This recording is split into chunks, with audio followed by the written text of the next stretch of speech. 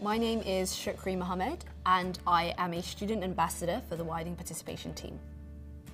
The work as a student ambassador is both flexible and diverse. You are able to balance your studies alongside working as a student ambassador. The working hours that you do depends on what you sign up for. It's also diverse because there's various um, jobs that are going on within Widening Participation from working an event like the Year 12 Politics Conference or working a summer school uh, for a week. So it's quite diverse in terms of the work that you would be doing as a student ambassador. I have gained various skills. It's helped me enhance my communication skills. I've been able to understand what it's like communicating with students and younger groups as opposed to communicating with adults, which I think is something that I can take on with me in my career profession that I choose.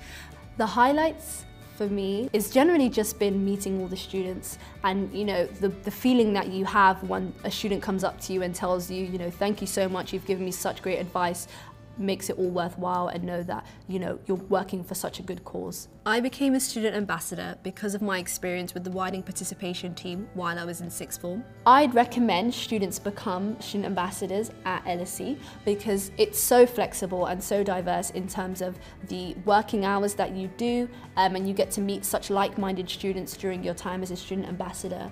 So I think all around it helps shape your university experience and it's definitely something I would recommend students do.